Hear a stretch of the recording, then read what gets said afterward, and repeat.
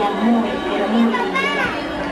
Con suegra y sus dos hermanastras, que eran muy, pero muy tímidas. Por eso Anastasia y Gisela tenían mucha envidia a Cenicienta, tanta que la obligaban a realizar todos los quehaceres de la casa, perdón, del castillo. Y eso es mucho que hacer. Pero Cenicienta tenía muchos amigos que la adoraban. Los pajaritos que la despertaban todas las mañanas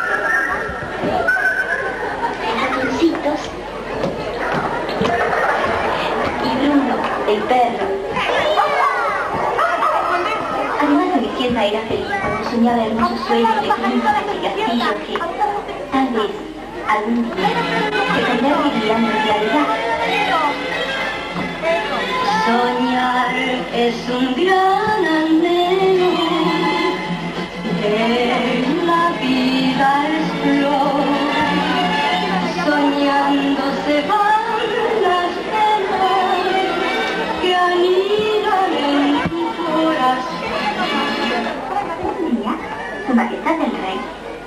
Era hora de que su hijo el príncipe se casara. Haré un gran baile. Y quiero que vengan todas las jóvenes casaderas del reino.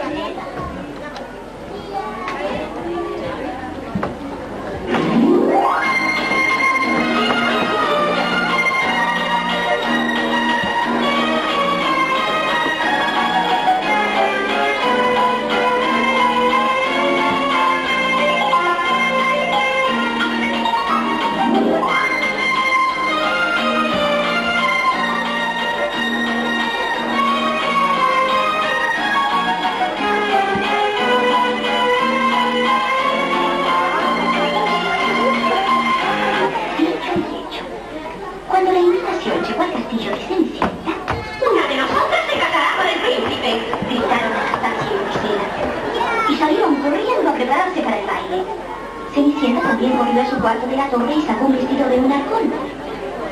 Muy precioso, exclamó. Era de mi madre. ¡Pipichocho, pichocho, pichocho! corearon los ratoncitos. Pero en eso, ¡Cenicienta! gritó Anastasia. ¡Cenicienta! Gritó Grisela. ¡Cenicienta, ven enseguida! Gritó la madrastra.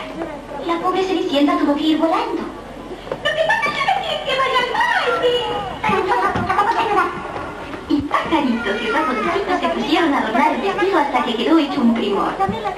Cuando llegó el momento de ir al baile, ¡Cenicienta! ¡Adornaste tu vestido con mis perlas y con mis cintas! pero, murmuró Cenicienta, ustedes la tiraron y los ratoncitos la recogieron ¡Será! ¡Pero las queremos de vuelta! y le arrancaron todas las perlas y las cintas del vestido. Luego se fueron muy campantes al baile, dejando a la pobre Cenicienta hecha un mar de lágrimas. Pronto, alguien apareció a su lado.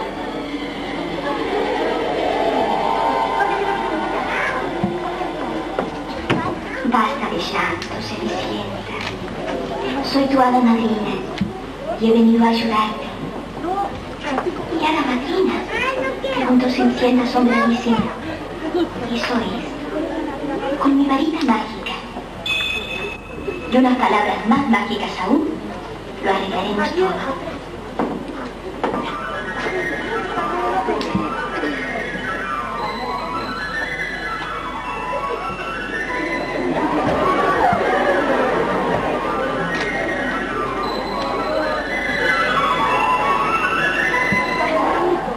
Mientras el hada cantaba, un zapallo se transformó en una carroza de oro. Bruno el perro en cochero y los ratoncitos en hermosos caballos. Bueno. Cenicienta lucía el vestido más maravilloso del mundo y calzaba unos encantadores zapatitos de cristal. Ahora, rápido al baile, dijo el hada madrina. Pero recuerda, tiene que regresar antes de medianoche. Ahí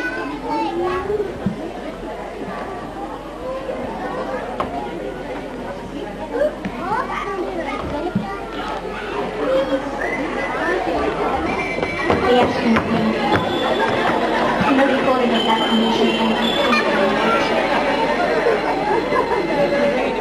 Hasta que el reloj comenzó a dar las doce campanadas. Antes de que el príncipe pudiera detenerlo, Cenicienta salió corriendo del palacio. Ni siquiera se dio cuenta de que había perdido uno de sus zapatos. Cuando sonó la última campanada, volvió a ser igual que antes.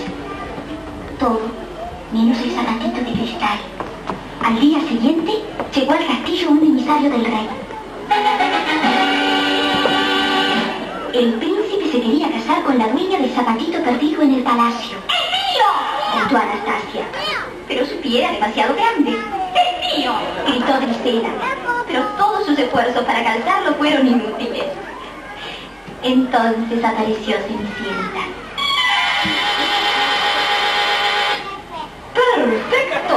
Exclamó el emisario del rey.